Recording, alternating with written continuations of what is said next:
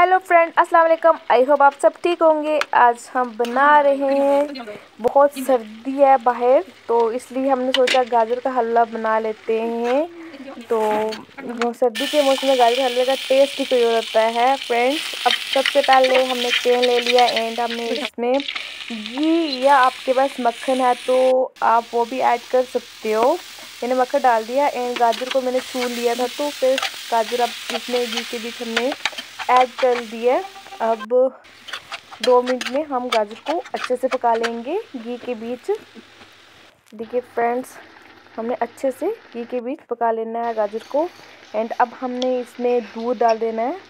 मैंने इसमें 100 एम दूध ऐड कर लिया एंड हमने one cup and half cup हमने इसमें चीनी ऐड कर लेनी है फ्रेंड्स ये देखिए, बहुत ही टेस्टी गाजर का हलवा। एंड सर्दियों के मौसम में गरम गरम गाजर का हलवा खाने का टेस्ट फ्रेंड्स कुछ और ही होता है। ये देखिए, अब हमने इसको लो मीडियम फ्लेम में स्लो स्लो बिल्कुल पका लेना है। एंड हमारे पास जो ड्राई फ्रूट्स थे फ्रेंड्स हमने इसमें ऐड कर लेना है। आपके पास घर में जो भी ड्राई फ्रूट होगी, वो आप इसमें ऐड कर लेना।